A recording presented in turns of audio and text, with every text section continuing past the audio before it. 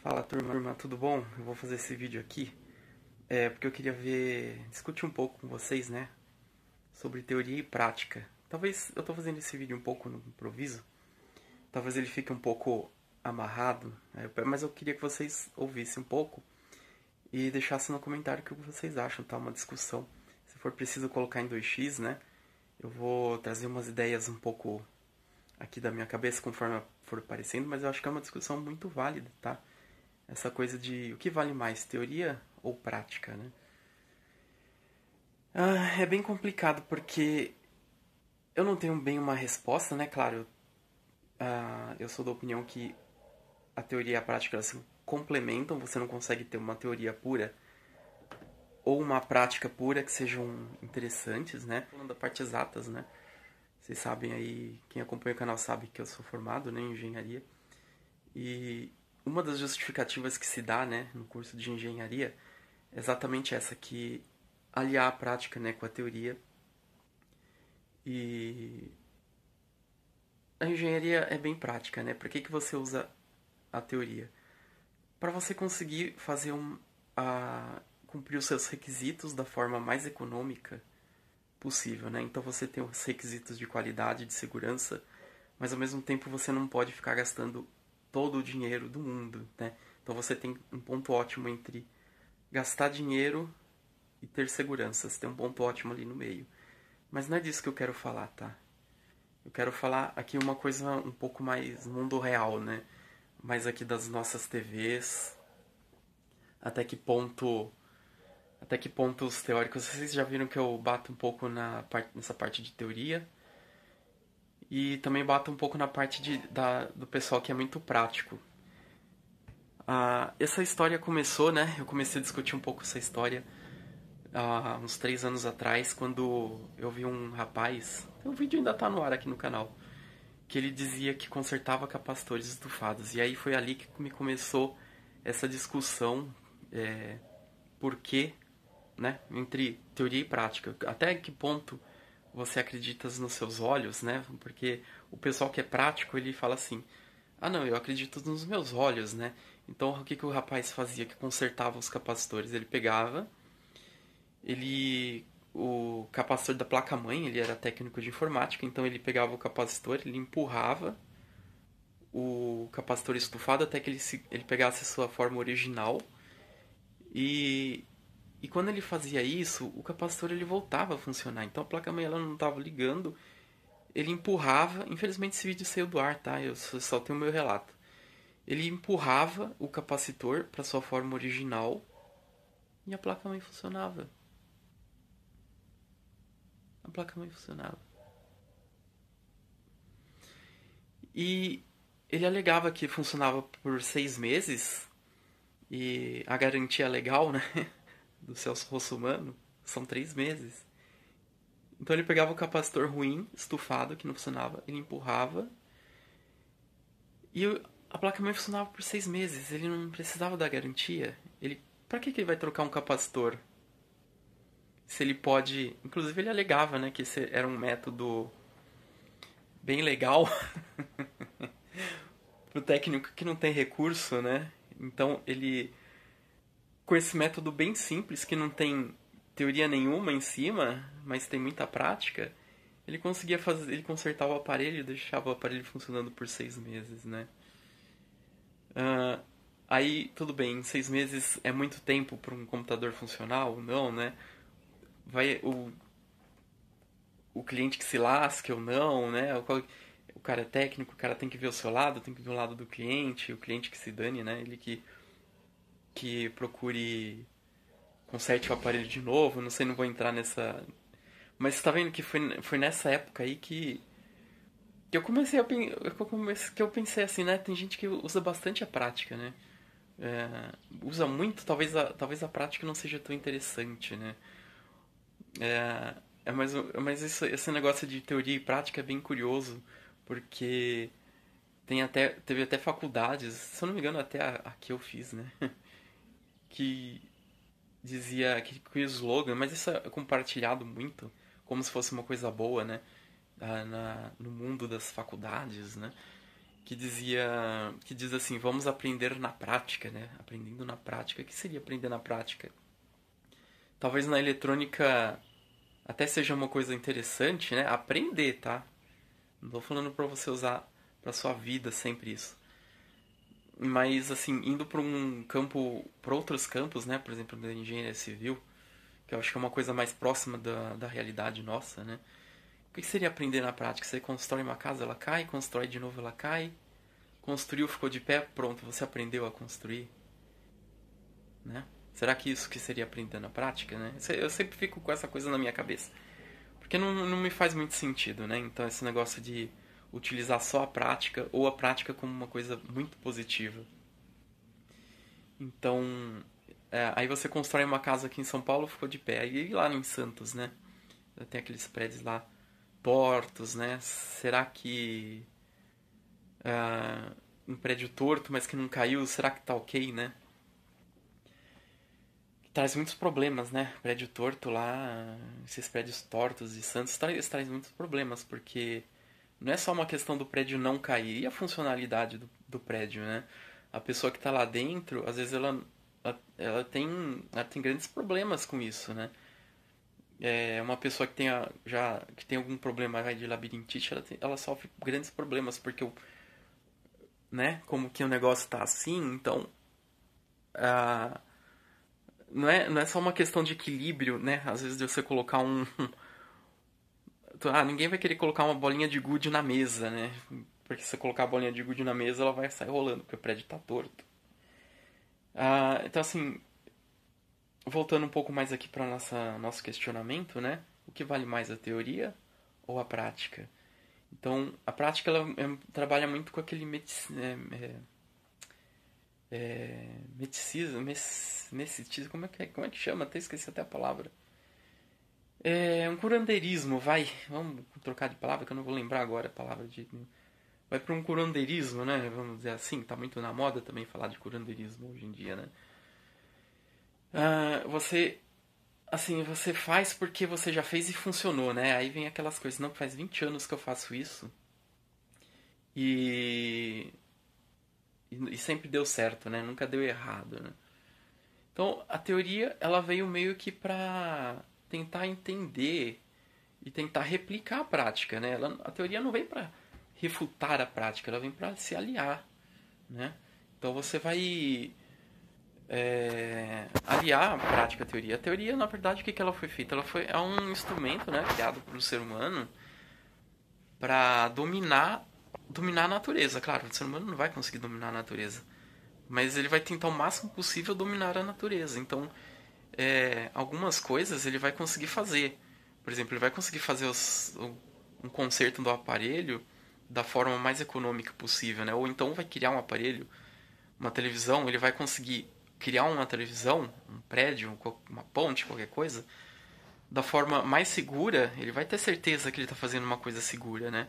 Eu fico olhando aqui em vez de ir para a câmera, né?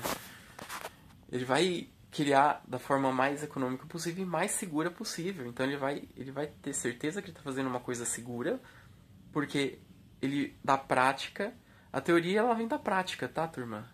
A teoria ela vem da prática. Então, sem a prática, você não teria como ter a teoria. Então, essa, essa rixa, né, meio de prática e teoria, é uma coisa. É, ela vem de. Ou o cara que é muito teórico, claro, ele tem uma certa é, demonização da prática, mas o cara que é muito prático, ele também tem uma demonização da teoria. Mas isso é uma coisa ruim para ambos, né? O certo é, é você aliar a prática e a teoria, tá bom? É, não tem uma não tem essa de a prática é melhor que a teoria, a teoria é melhor que a prática, né? Às vezes eu falo, né, do cara do japonês lá, né, que eu gosto de, de porque tem muito meticismo nesse negócio de equipamento japonês, é muito bom, né? Então eu, eu acabo pegando os caras pra, pra Cristo, né, para jogar pedra. Mas isso pode acontecer com qualquer empresa, com americano, com brasileiro, com qualquer um, né? cara, às vezes o cara ter muita teoria não quer dizer que ele seja bom de prática, né? E nem quer dizer, também às vezes o cara pode ter é, pensamentos equivocados ou pode ser até às vezes que ele esteja equivocado de propósito, a gente nunca sabe, né? a gente nunca sabe, né? Se o cara, às vezes o cara tem muito conhecimento, mas ele tá pode ele pode ter equivocado ou às vezes até equivocado de propósito, né? A gente nunca tem 100% de certeza nisso. Eu posso estar equivocado sem querer, eu posso estar equivocado de propósito também, né? A gente, ou você que está me vendo aí também, né? A gente nunca é, tem certeza 100% das coisas, né? Então, é sempre bom a gente estar tá estudando a teoria, né? Para ter certeza, para corroborar com a prática também, né? É aquela é aquela coisa, né? Por que, que a teoria, que, retomando aquele pensamento, nada mais é do que uma forma do ser humano querer controlar a natureza, né? Então, mas a teoria ela é mais ampla do que a prática, por incrível que pareça, apesar da teoria ter vindo da prática, ela é mais ampla. Então, nem tudo que você é, faz na parte teórica vai funcionar na prática. É, aí é que nem aqueles estudos, né? Que o pessoal fala, não, em três meses. Ah, em três meses vão morrer um milhão de pessoas. Tá, mas. Para que isso seja verdade, o que, que tem que estar tá acontecendo na.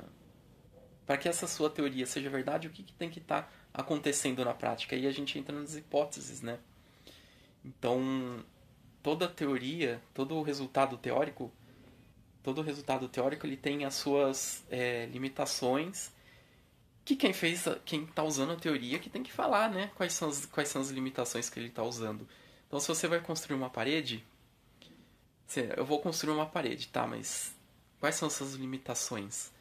Ah, tem que ter água, né? Então, se você estiver lá no deserto do Saara, você tem que dar um, tem que dar um jeito de chegar água lá. Tem que ter luz, se for o caso, né? Para iluminar, você vai construir de noite. Ah, eu vou construir um dia, tá? Mas você consegue construir só enquanto tem a luz do, do dia? Ou não, você vai precisar de luz artificial, né? Então, assim, ah, quando você faz uma teoria, você tem suas limitações. Quais são as limitações que você está usando, né?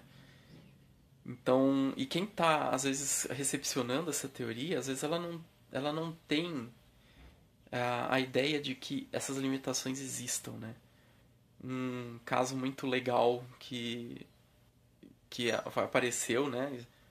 Vira e mexe aparece na internet aquele universo 25, né? Que o pessoal fala. Às vezes o pessoal. É... Não que não, não dê para usar, né?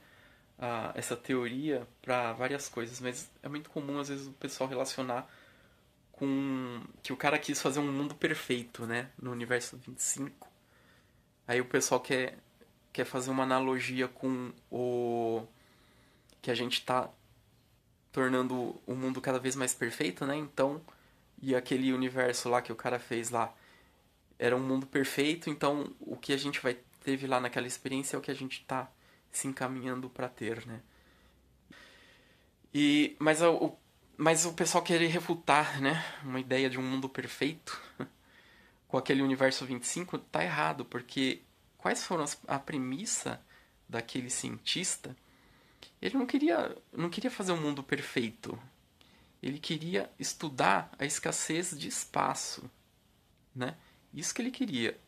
Ele queria então que que para você estudar uma escassez de espaço, você tem que transformar tudo o resto é, não ser um problema no seu estudo. Então, é, se você quer estudar a falta de espaço, então você não pode ter falta de comida. Você tem que, você tem que dar infraestrutura né, lá para os ratinhos, né? Ah, tem, você tem que dar toda uma infraestrutura para os ratinhos, água, tudo, né? Para que no seu estudo apenas a falta de, de espaço seja um problema. Porque esse é o problema que você quer estudar, entendeu? Então, não tem como a gente... Então, assim, é, aquele não era um mundo perfeito, era um mundo em que faltava, que era tudo perfeito, mas faltava espaço, porque ele queria estudar problema do espaço, né? O que, que aconteceria se faltasse espaço no planeta Terra? Tá faltando espaço no planeta Terra hoje? Não. Se a gente tiver é, se, todo mundo, ninguém mais tiver fome, vai acontecer aquele problema lá do, do experimento dele? Não necessariamente, né? Porque não é só aquela premissa que é, você precisa ter para ter aqueles resultados. Você precisa ter falta de muita comida e falta de espaço. A gente tem falta de espaço no planeta? Ainda não, né? Então, é... a gente nunca deve perder de vista as premissas, tá bom? É, a gente tem sempre, sempre para validar um experimento, o que é um experimento científico? Uma coisa que você consegue re repetir, né?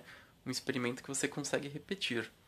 Inclusive, eu estou fazendo um experimento com capacitores, ainda não Acho que quando sair esse vídeo ainda não saiu, porque o experimento ele leva um tempo.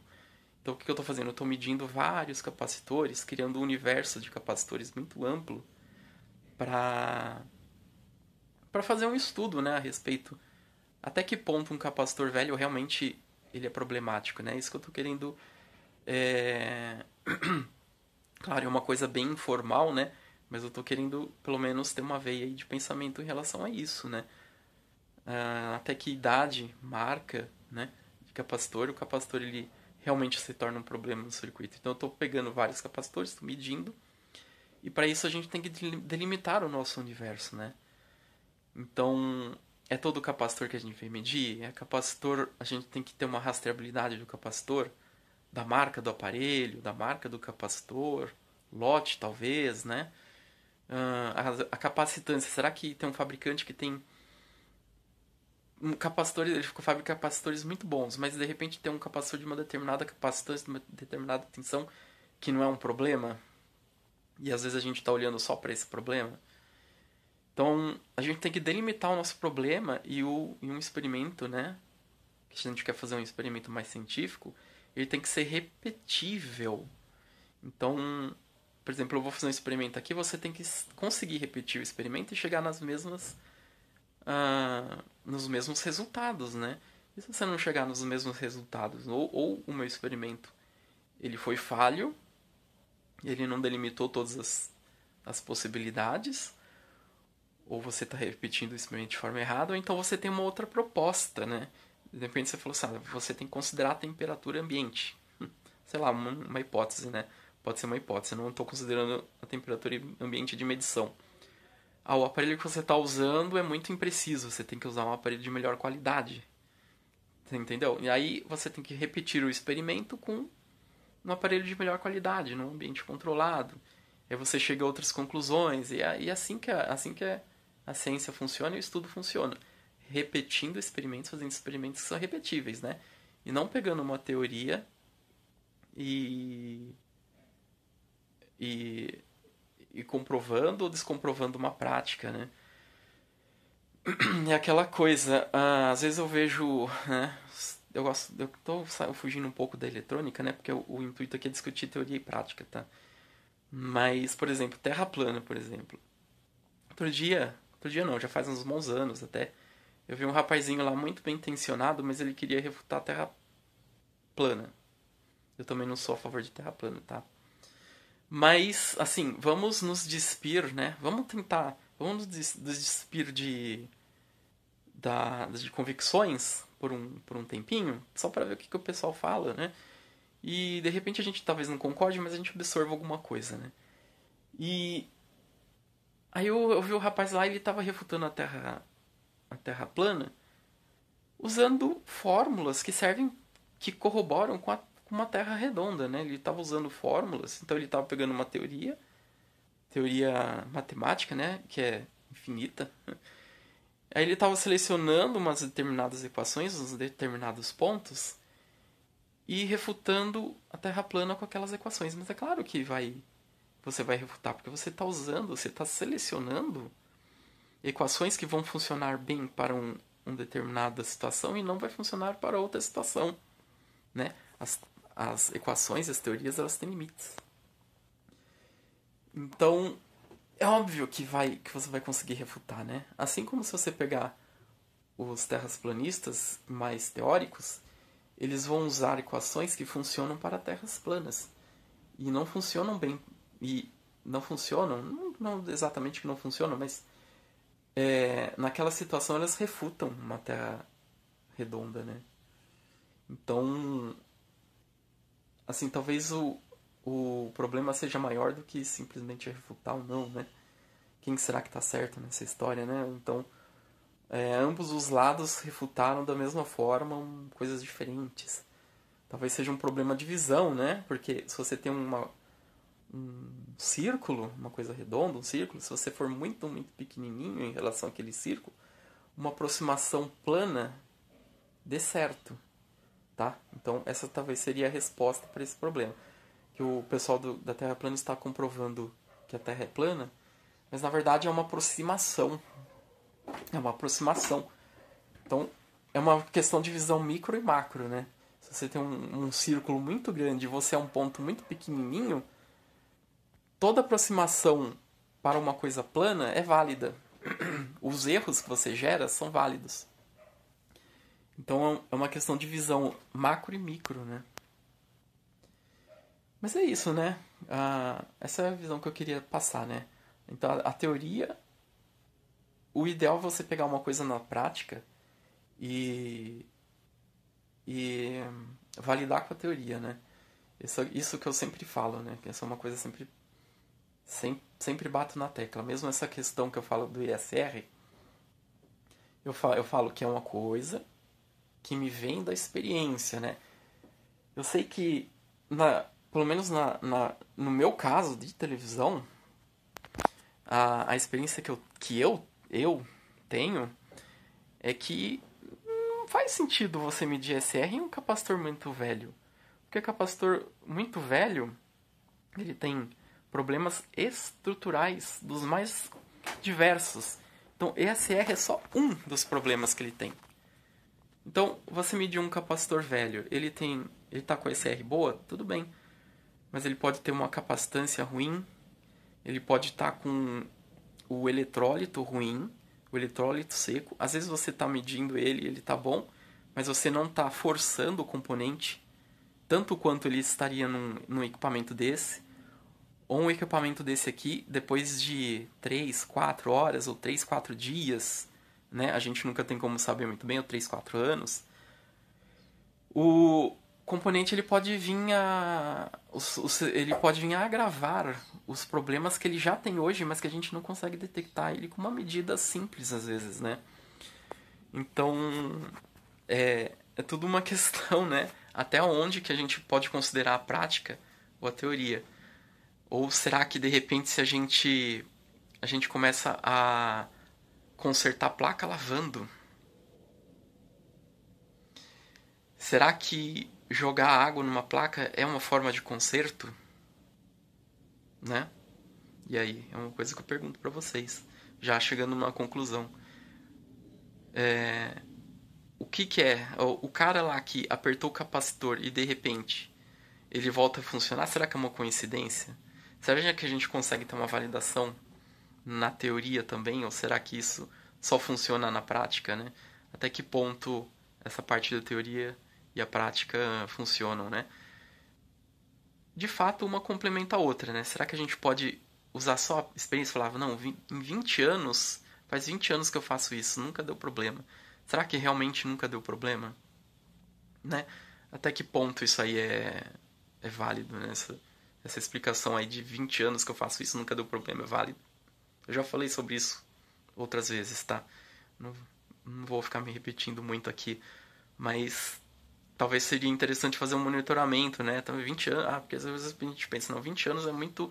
Se teve algum problema, em 20 anos ia aparecer, né? Mas será que não era interessante fazer um monitoramento para saber é, realmente até que ponto é, funcionou? Será que em 10%, 10 de problema, né? De repente, 10% de problema ou 20% desses equipamentos deram problemas e não voltaram, né? Vai saber, o cara jogou no lixo, o cara ah, não gostou de você, levou em outro técnico, né? Até que ponto, né?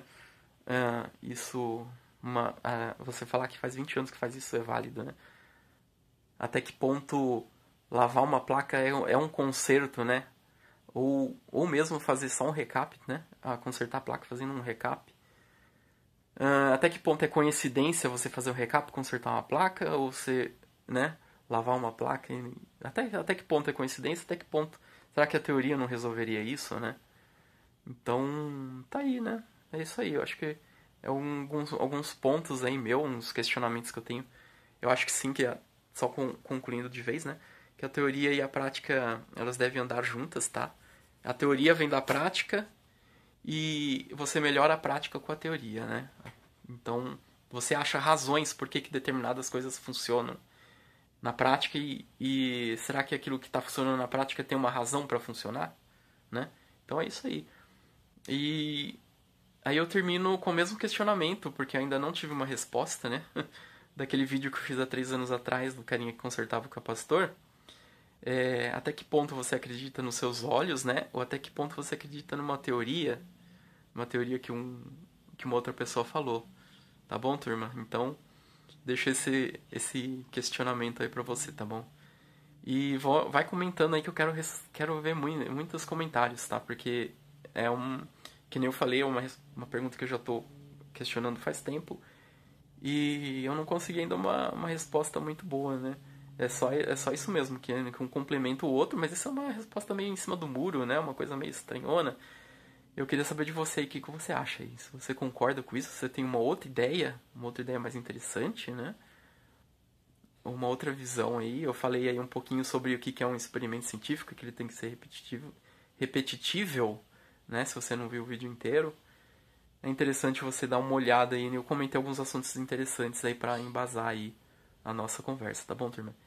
Então fica aí uh, esse questionamento aí, eu acho que é um questionamento bem interessante, principalmente hoje em dia que as pessoas estão duvidando muito da teoria, né? Porque tem muita besteira, tem muita gente que, que faz falsas relações, né? falsos nexos causais entre a teoria e a prática, tá bom?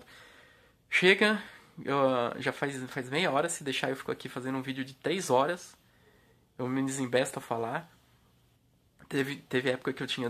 Acredita, gente. Teve época que eu tinha dificuldade de ficar três minutos falando em, em um assunto. Hoje em dia, olha, eu falo meia hora de assunto aí. ainda poderia falar mais meia hora, né? São tudo. Posso até falar um dia sobre isso, como que eu mudei essa perspectiva de, de não conseguir falar em três, três minutos sobre um assunto e agora eu falo meia hora de um assunto, né? Mas enfim, chega. Chega. Deixa aí o que você já sobre esse negócio de relação entre teoria e, e prática, tá bom, turma? Eu vou até fazer uma minutagem. Quero fazer um vídeo também sobre, sobre até que ponto termos técnicos é, é elitização, né? É frescura. Será que termo técnico é elitização? Você, fa você fazer uma pessoa falar atenção corrente, né? Alguma coisa assim. É, é, é elitizar a eletrônica. Mas é, chega, né, gente? Deixa aí seus comentários, eu quero ver muito o que vocês falam. Quem sabe eu quero, eu quero refinar minha, meus pensamentos aqui. E. E talvez mudar um pouco a minha opinião, ou não, né? Ou corroborar, tá bom? Então valeu, falou. Abração aí pra quem me aguentou aí meia hora, tá bom? Valeu!